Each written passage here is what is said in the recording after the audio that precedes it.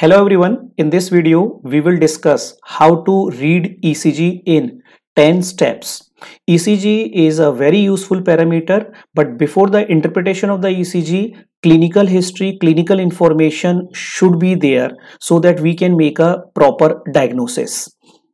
Now the step one, step one is the standardization. Standardization is when we look at the ECG, we should look at this uh, symbol uh, before the ECG lead. This symbol uh, represent that ECG machine, uh, the ECG paper is running at a speed of 25 mm per second and the voltage. 10 mm voltage is uh, 10 mm height represent 1 millivolt of current. So this box uh, the width is 5 millimeter and the height should be 10 uh, mm and the best lead to study the ECG is usually lead 2 uh, second step is calculate the heart rate. Heart rate is a ventricle rate. Ventricle rate is qrs uh, complexes ventricle depolarization so the simple formula is 1500 divided by rr interval in millimeters.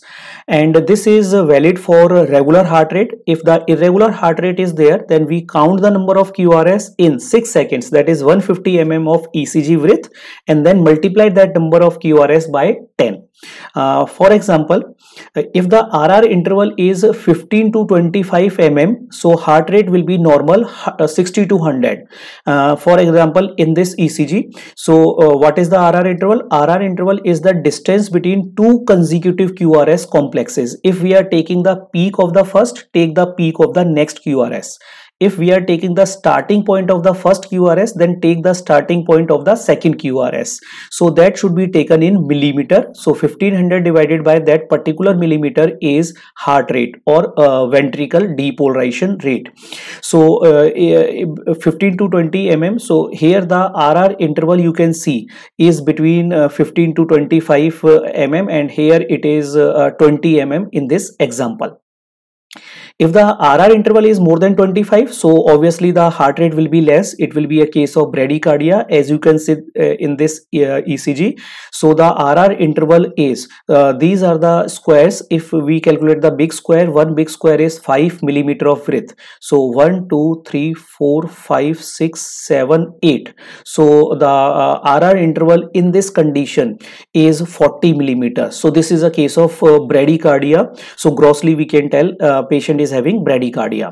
If the heart rate uh, is more than 100, this is tachycardia. RR interval will be less than 15 mm as in this example. The RR interval in this is 5 plus 510 plus uh, 3 13 13 mm so we can uh, say grossly it is a case of tachycardia. Now the step 3 is to see the rhythm. Usually the rhythm is regular. Regular means the uh, distance between any two consecutive rr interval is uh, constant throughout the ecg so uh, if it is irregular so we have less differential diagnosis for irregular rhythm. That rr interval is uh, variable. So first of them is in this ECG you can see RR interval RR interval, RR interval. So the third RR interval is more than the first two RR interval. But uh, there are P waves present, P waves present and each P is followed by QRS. This is the P wave followed by the QRS.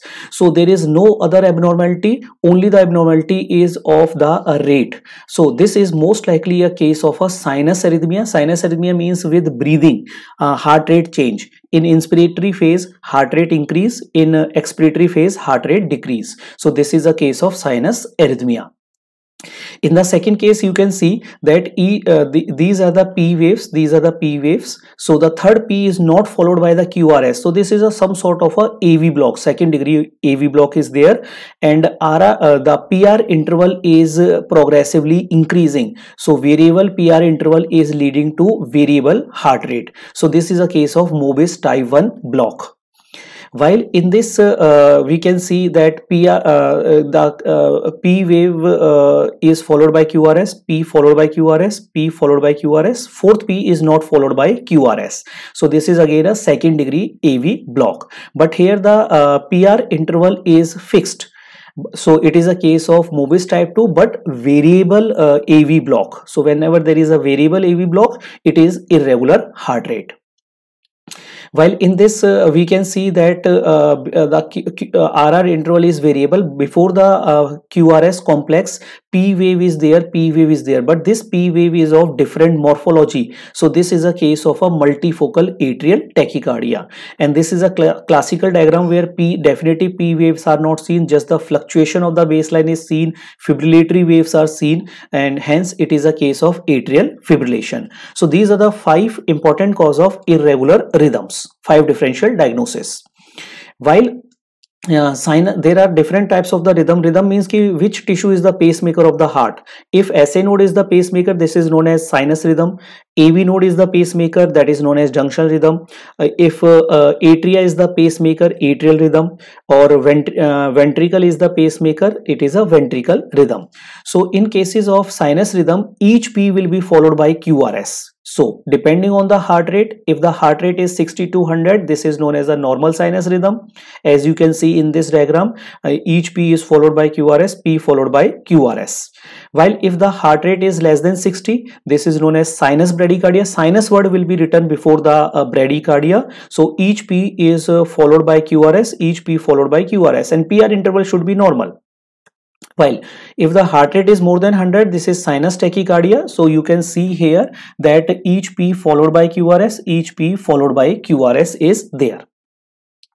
While atrial rhythm in the atrial rhythm uh, there will be abnormal p waves or we can say uh, the atrial rate will be very high. It will be more than the uh, sa node rate.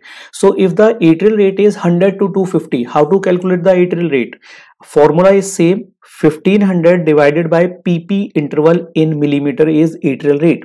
So when it comes out to be 100 to 250 uh, with abnormal p you can see here the p waves are inverted. These are abnormal p wave. And if we see the distance between two uh, p waves it will be uh, making the atrial rate of 100 to 250 so the distance between the pp uh, waves two consecutive p wave will be between 6 to 15 millimeter for a heart rate of 100 to 250 or the second can be uh, the p wave will be of different morphologies. If there are more than equal to three different morphology of p wave it is multifocal atrial tachycardia. While if the atrial rate is more than 250 so all the atrial impulse will not go to the ventricle so there will be a mandatory av block and there will be a sawtooth pattern of the p waves which you can see here. P wave are coming very very fast. In this example pp interval is 5 millimeter. So atrial rate will be 300 and each p is not followed by qrs so 3 p wave followed by 1 qrs so this is atrial flutter.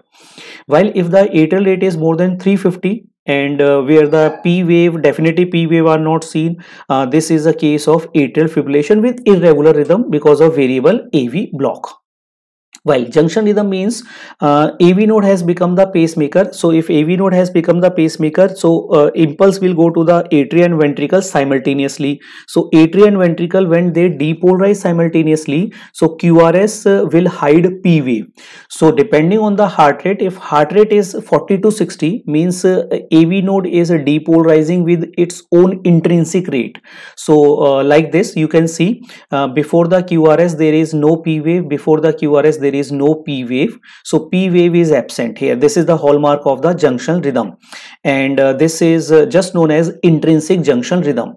But when the heart rate becomes 60 to 100 so you can see in this example uh, heart rate is 6200 uh, here uh, but p wave is absent. P wave is not visible here. So that means ki av node is depolarizing more than its intrinsic rate but not tachycardia. So this is known as accelerated junction rhythm when the rate is more than 100 then it is known as tachycardia junctional tachycardia. You can see here uh, the rr interval is uh, uh, less than 15 mm so the rate will be more than 100 there is no p wave there is no p wave before the qrs complex. Now you will be thinking then what is this wave? This wave is a t wave.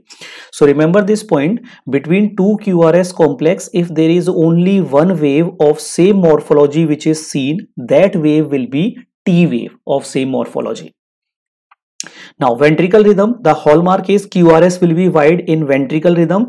So if uh, the heart rate is less than 50, so this is the intrinsic rate of uh, ventricle fiber excitability or ventricle depolarization or Purkinje fiber depolarization that occur when there is a complete AV block including bundle of His block. So this is known as idioventricular rhythm while if uh, ventricle is depolarizing more than the intrinsic rate that is more than 50 but less than tachycardia rate that is 50 to 100 this is known as accelerated idioventricular rhythm. So qrs will be wide if the heart rate is more than 100 this is known as ventricle tachycardia. So you can see in all these ecg the qrs uh, is wide. Qrs uh, normally is less than 3 mm so if it is 3 mm or more than 3 mm it is wide. And uh, the measurement is done from the starting to the finish of the qrs so you can see in this uh, example qrs is almost 5 millimeter in width now the step 4 is the P wave. So P wave we should be knowing the normal P waves in lead 2 normal P wave uh, height and width are respectively 2.5 2.5 millimeters.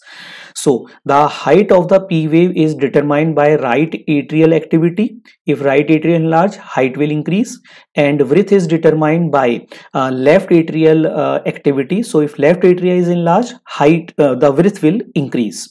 In lead V1 in lead V1, the positive component, number one component is due to right atrial activity and negative component, number two component is due to left atrial activity. So it is biphasic. So if right atria enlarge, the positive component will be prominent. If left atria enlarge, negative component will be prominent. So in lead 2, uh, this is the ECG given. So uh, in this, uh, if we look at the width of the uh, P wave, width of the P wave here is uh, 3 mm. So this is more. Also there is camel hump, camel hump. So this is suggestive of left atrial enlargement. Also the negative component has become more prominent. So how to know negative component? So take the width of the negative component and take the depth of the negative component. Width will be in seconds and uh, depth is in mm. So you multiply the width with uh, depth. So if that has come out to be more than 0.04 mm seconds. So that is known as morris index positivity and that is left atrial enlargement. So you multiply these two. So if it is more than 0.04 mm second so this is morris index positive. Now in this uh, lead 2 you can see the p wave. The p wave height you calculate is 3 mm. So this is increased and the positive component of the p wave in v1 this is lead v1 so this is also becoming more prominent. Uh, more prominent means uh, if we take the width of this component of positive component and multiply it by height. So uh, width is taken in seconds and height is taken in mm. So if uh, this come out to be 0.06 uh, mm second so this is a case of a right atrial enlargement now step 5 is PR interval. PR interval is calculated from the start of the P wave uh, till the beginning of the QRS complex and the normal value is 3 to 5 mm which is 0.1 to 0.020 seconds. Now short PR interval is when the atrial impulse bypass the AV node because AV node is a physiologically slow conducting tissue. So the in the first case it will be a short PR interval. How to know short PR interval? As soon as the P wave finishes QRS start. So that is a short PR interval. But here you can see the QRS complex is wide and there is a initial slope or slant at the uh, initial part of QRS that is a delta wave.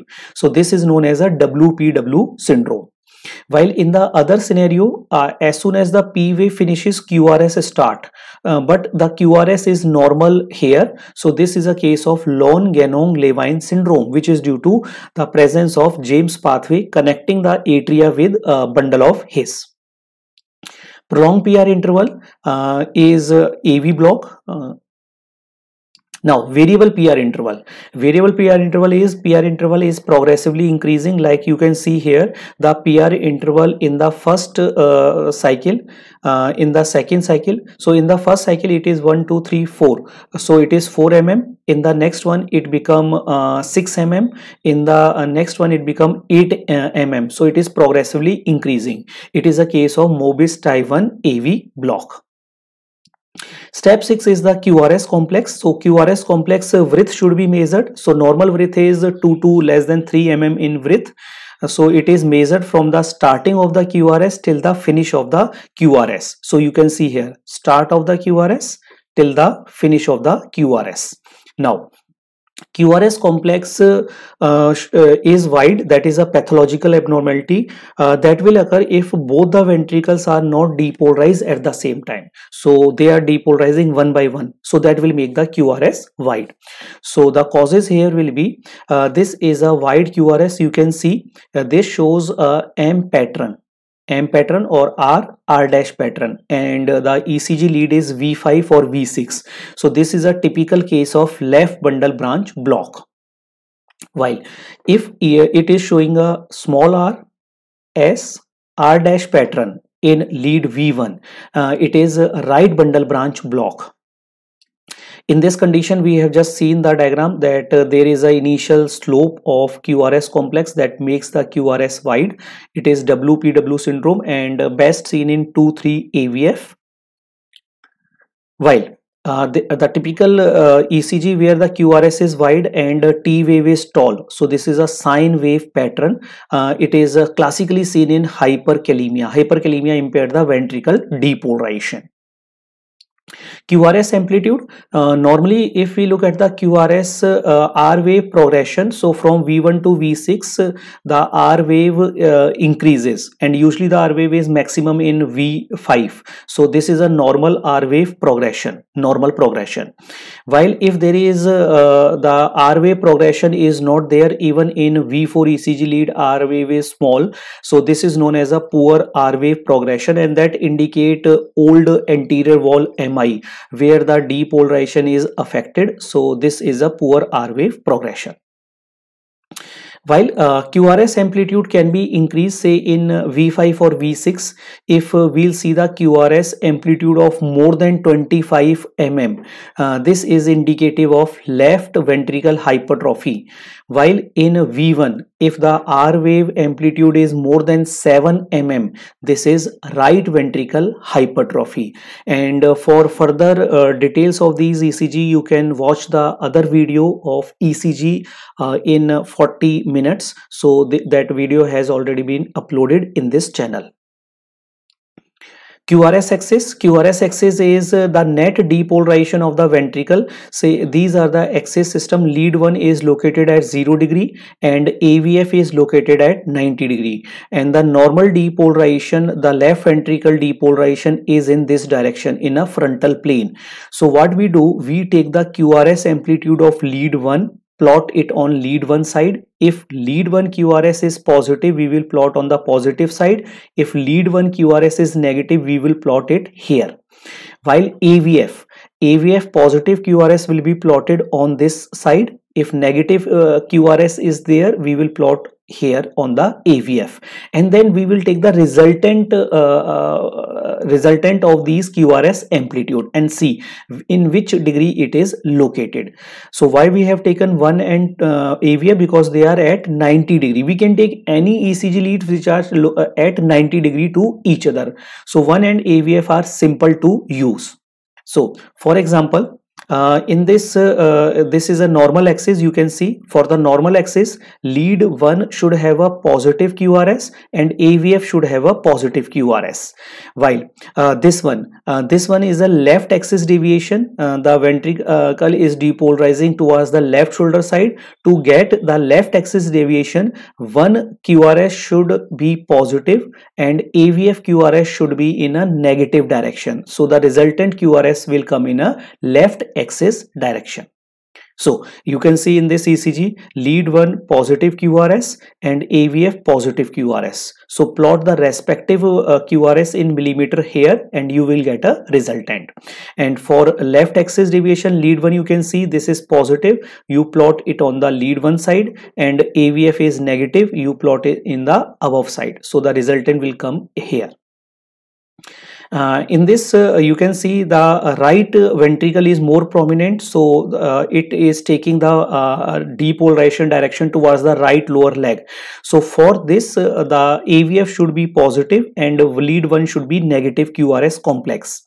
And this is towards the right shoulder side. This is extreme axis or indeterminate axis. For this lead one should have a positive uh, sorry negative qrs avf should also have a negative qrs so like this if lead one is showing negative we will plot it here.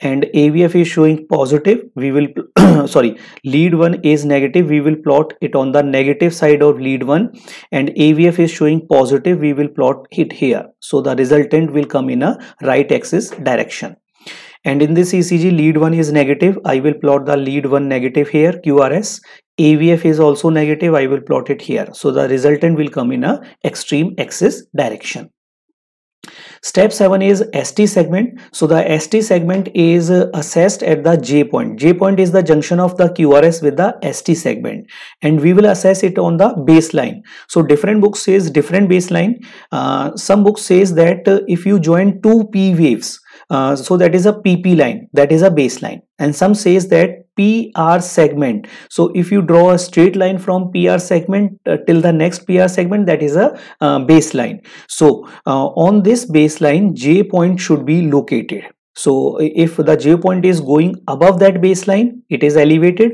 Below the baseline, it is depression. Now uh, 2 mm 2 mm after the uh, j point is j60 point. So that is assessed when we are doing a treadmill test for ischemia uh, diagnosis so these are the J point assessment. This is J point elevation. It is going over the baseline. This is going below the baseline. This is ST depression.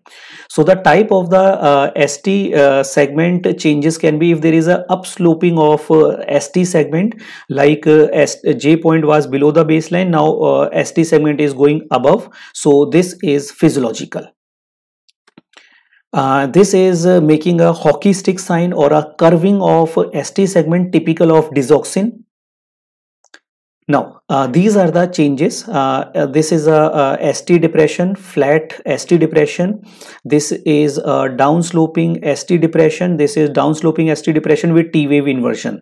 All of these are representing ischemia.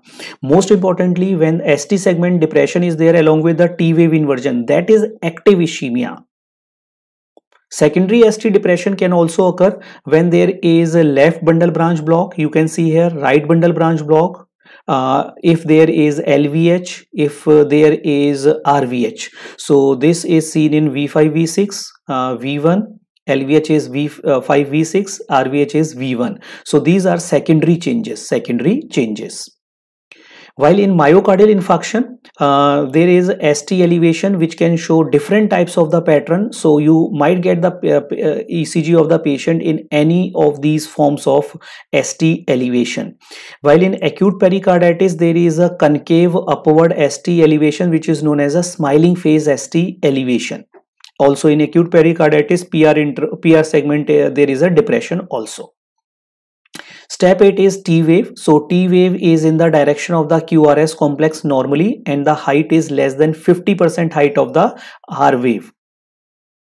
While tall T wave is uh, if the uh, T wave is more than the 50% of R wave height. So in both these conditions you can see T wave is tall. In first scenario it is pointed slightly uh, the base is less here it is a rounded peak and broad base is there of the T wave. So these are seen in hyperkalemia and myocardial infarction respectively earliest changes ongoing ischemia uh, uh, along with the ST segment uh, depression you will see T wave inversion and post ischemic uh, the ST segment return to the baseline and T wave inversion will be there. Normal T wave inversion can be seen in V1 V2 3 and AVL so you can ignore if the T wave inversions are there and patient is asymptomatic. Secondary T wave inversion, all the causes which are leading to secondary ST depression. Now step 9 U wave. U wave is best assessed in uh, V2 to V3, uh, normal and prominent in athletes, young age and it is less than one third height of the T wave. While prominent U wave can also be seen in uh, hypokalemia. Now, uh, step 10, QT interval. So, the QT interval is calculated from longest QT interval that is V2 to V3. It is uh, start of the Q wave till the end of the T wave. And uh, normal is uh, 440 milliseconds in men and 460 milliseconds in women. And uh, grossly, 10 mm you can take it as a normal uh, QT interval plus minus 1 mm and Q, uh, it depend on the heart rate also. So though it represent repolarization so when the heart rate is fast QT interval can be short without any repolarization abnormality. Or uh, if the heart rate is slow QT will be prolonged without any repolarization abnormality. So we have to correct it for heart rate. So the formula is QTC corrected for the heart rate measured QT divided by under root of RR interval that is a Bayesian formula while if the QTC interval is more than 500 uh, millisecond, it is associated with uh, increased risk of ventricle polymorphic uh, arrhythmias that is torsades de pointes. So, prolonged QT interval uh, is seen in uh, electrolyte imbalances uh, like hypocalcemia, hypomagnesemia, hypermagnesemia or hypokalemia. High potassium does not cause prolonged QT. And importantly is drugs, antiarrhythmic drugs, antimicrobial most importantly is the macrolide. Also know as a general practitioner that if a patient of upper respiratory tract come to us uh, like uh, in covid time patient came with uh, upper respiratory infections in that patient uh, we also used to give hydroxychloroquine along with the macrolide. So both these combination can prolong the qt interval. So these combination should be avoided. While uh, tricyclic uh, antidepressants can cause prolonged QT intervals. Uh, antihistaminics uh, can also lead to this effect. Short QT interval, uh, electrolyte imbalance like high uh, calcium levels, digitalis, hyperthermia, they lead to short QT interval. Now reporting. So the reporting should be done in two steps. One is your findings what are your finding? What is the heart rate? What is the rhythm? What is the uh, width of the p wave? What is the height of the p wave? And then the second step will be the conclusion. Suppose in the reporting you uh, have written that uh, the height of the p wave is more than 2.5 mm in lead 2 just write that in the reporting. And in the conclusion you will write uh, right atrial enlargement so that is the meaning of uh, two steps uh, uh, reporting and conclusion of the ECG. So first is your findings. So the findings are for example rate. You should write uh, uh, you you can make a note uh, or make a, a systematic these points. Key should not miss any of these points. So rate can be normal tachycardia bradycardia. Rhythm, sinus rhythm or arrhythmia rhythm, P wave whether it is normal, absent, tall, wide in lead to, biphasic, positive, negative in V, uh, which component is more prominent in V1. PR interval whether it is uh, normal, prolonged, variable, short. You should exactly write key what is the uh, PR interval width. QRS complex, uh, how much is the width in seconds, what is the axis in degrees, morphology, in which lead you are finding those particular morphologies, ST segment normal elevated depression you should write the leads in which it is uh, there. Uh, T wave normal tall inverted or absent in which lead? U wave present prominent in which lead so uh, these are the uh, and of course qt interval. So i missed the qt interval so that should be also written. So you should be writing your findings. And based on those findings then you do the conclusion or uh, the comments. Key whether case of tachycardia, case of P mitrale, first degree AV block, left axis deviation, wide QRS, LVH criteria, RVH criteria or not. Should you should not write ki it is a case of mitral stenosis on ECG. No one can tell it is mitral stenosis on ECG. You should write your finding, conclusion and then give the reporting. So the, this is how the ECG should be read in a systemic manner. If you have any questions, doubt, you can put in the comment section. Uh, though uh, I have not discussed the details of those uh, abnormalities, they, they are already discussed in previous videos. You can watch those previous video. It is just for the uh, your OPD uh, practice, your emergency